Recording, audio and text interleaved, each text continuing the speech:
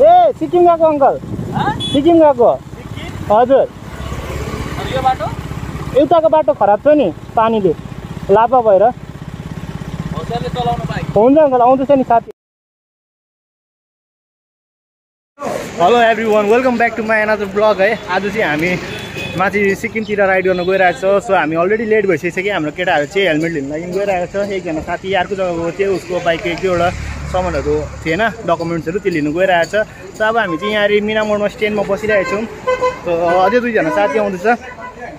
मसँग चाहिँ मसँग मेरो आज कम्पनीदेखि लागि चाहिँ अङ्कित साथी छ। हेलो वेलकम र हामी यहाँनिर हाम्रो प्रवीणको केटाहरू चाहिँ आउँछु भनेको आधा घन्टा भइसक्यो तर अहिलेसम्म आइसकेको छैन। ब्यागहरू सबै हेलमेटहरू सबै यहीँ छ। तर खै अझै एउटा हेलमेट पुगेको छैन। सो हेलमेट लिनु गएको छ भनेको। पाँच मिनटको बाटो तर आधा घन्टा भइसक्यो आएको छैन। सो किन आएको छैन? अहिले आएर सोध्नुपर्छ। सो गाइज़ फाइनली यिनीहरू दुईजना पनि आइसकिसक्यो अब हामी चाहिँ लाग्ने छौँ यिनीहरूले साह्रै ढिलो गरिसक्यो so finally guys we are moving towards Sikkim we are coming है केटाहरूले चाहिँ साह्रै ढिलो गरे आज। तर कोही बात छैन आयो टुरिस्ट आयो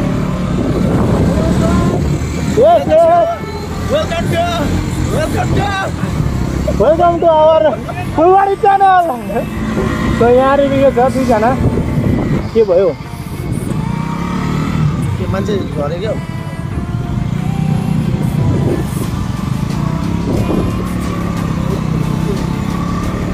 एकछिन त साइलेन्ट हो त सन्नाटा त्यही त म त। बडी सडी अड्केको छ क्या मेरो म चाहिँ नि यो त रुत्रुके भएको पानीले भिजेर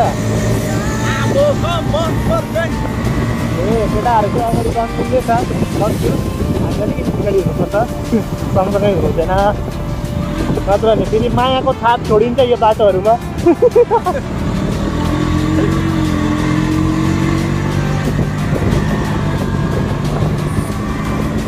ओ भाइ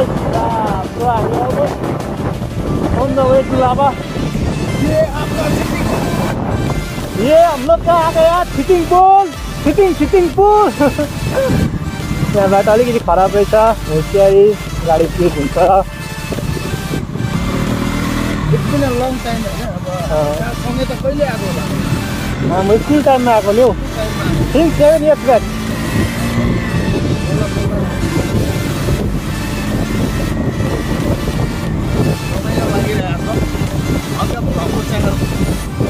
जो बोलूँ सो पहले सब्सक्राइब करो फिर घंटा दबाओ।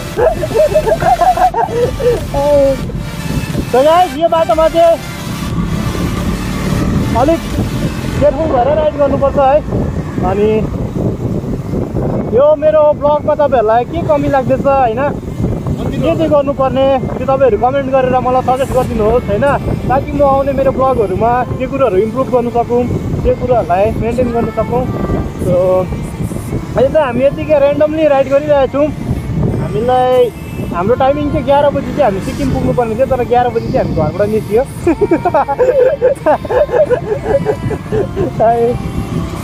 अब बज्छ होला एक दुई बज्छ होला।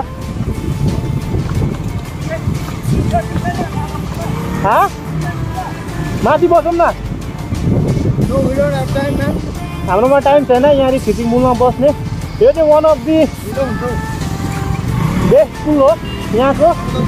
फोटोसुटहरू गर्नु लागि टुरिज्मको लागि मेन कुरो चाहिँ पूजापाठ गर्नु लागि चाहिँ यहाँनिर पुरा हुन्छ हौ फिटिङ पुलमा प्राइस तपाईँहरू हेर्नु सक्नुहुन्छ होला यहाँनिर क्वास कस्तो लागिरहेको छ। क्वास क्वास। लागिरहेको छ। यो नि स्नेक रोड भन्ने कुरा त।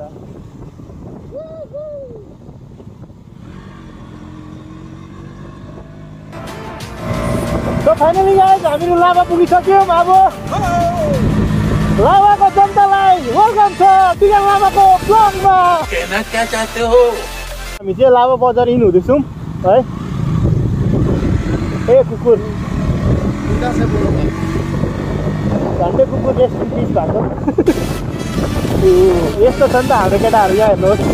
इच्छा इच्छा भन्ने चाहिँ यहाँ हुन्छ हुन्छ टाइमको सर्टेज हुनाले चाहिँ केटाहरूले चाहिँ अब यसरी पनि हेर्नु पर्ने रहेछ।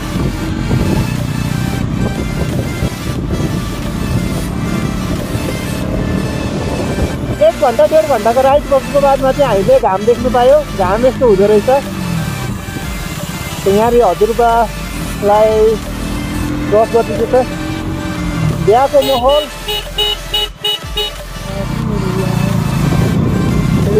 पूजाको मण्डप पो रहेछ त। ल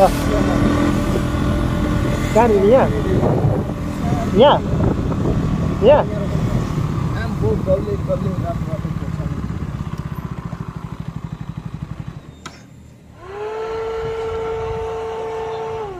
आएको छौँ है आन्टीको दोकानमा आन्टीको यहाँनिर यो डल्ले खुर्सानीको अचार रहेछ आन्टी कसरी एक सय रुपियाँ गरेर है अब हामी हामी चाहिँ अब तल डुवर्सबाट आएको अब माथि यहाँनिर आन्टीले सिल गरिदिन्छ अरे एकदम सिल टाइट गरिदिनुहोस् है।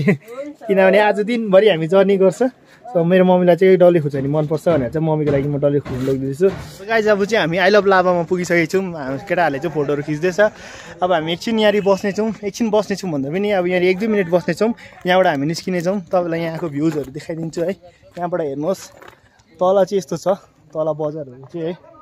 एकदम यहाँनिर अब हामी एकछिन बसिरहेको छौँ साथीहरूले फोटो सोटो सुट गर्दैछ। सो तपाईँलाई यहाँको एक दुईवटा भिडियो क्लिपहरू देखाउने छु।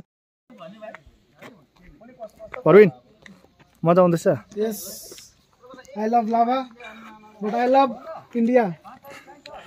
Not only lava. हाम नफाला नि फेरि। चौकल झन्डै लडेको। सो माथि माथि चाहिँ एउटा घुम्ने जग्गा रहेछ है। सानो केही एउटा स्पोटहरू त रहेछ। तर अब हाम्रोमा त्यस्तो टाइम पनि छैन चाहिँ हामी माथि जानु सकौँ है। र अर्को कुरा चाहिँ के हो पुष्पा भाउको लट्ठाहरू हामी यहाँनिर छ है। यहाँ चाहिँ हामी दाग लगाएर जानेछौँ। अहिले एकछिन बादमा भोलि पर्सितिर आएर उठाउनेछौँ।